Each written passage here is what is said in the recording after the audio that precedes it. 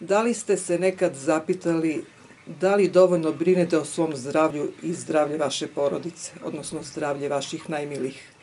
Zašto smo bolesni?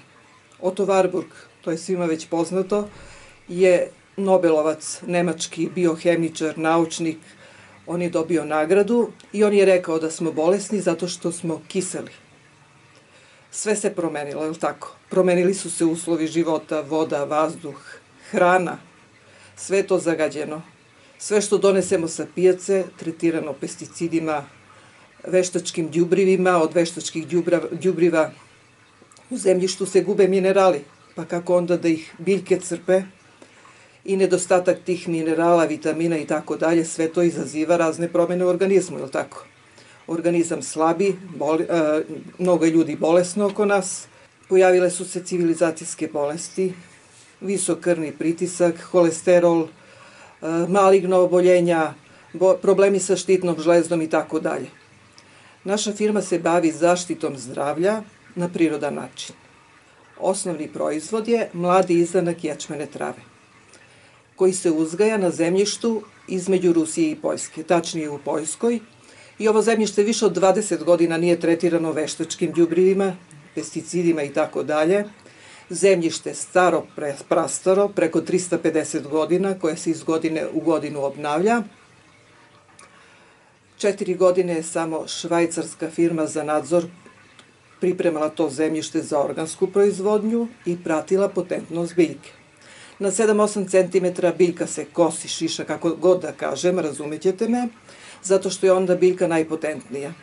92 minerala, a 102 minerala su u prirodi. Sve moguće vitamine, sem vitamina D, znamo taj vitamin D preko kože svaki organizam proizvodi uz pomoć sunca, naravno, i enzime koji su vrlo važni za te biohemijske procese u organizmu. Naučnici su hteli da pronađu biljku u jednom izvoru kao kompletnu hranu za naše ćelije. Od 150 uzoraka biljaka koji su imali, ječam je na prvom mestu. Tako da on po sastavu više podsjeća na povrće nego na žitarice. Ječam je hrana broj 1 u svetu po alkalizaciji. U svakom organizmu, zbog tih izmenjenih uslova života, ima puno otrova. I znamo industrijska hrana puna konzervansa, veštačkih zaslađivača i tako dalje. I sve se to negde u organizmu taloži. U debelom crevu, svi to znamo da najviše ima otrova. Tu se slepe te crevne resice, pada imunitet, svi ti otrovi se vraćaju kroz krvotok u organizam i šta se dešava? Organizam slabi, problemi sa štitnom žlezdom, problem sa bubrezima, problem sa kožom, maligna oboljenja i tako dalje, što je sve učestalije, nažalost, u ovo naše vreme. Tako da ječam radi detoksikaciju. Kada se popije, on čisti creva, čisti krvne sudrove, jetru, bubrege, znači u jetri je takođe mnogo otrova nagomilano i od svih tih sintetičkih lekova i od tih, kako da kažem, vitamina, minerala koji se uzimaju, a nisu prirodni, Ovaj naš proizvod je 100% organski, 100% prirodni, zato što sam već naglasila gde se uzgaja i gde se proizvodi.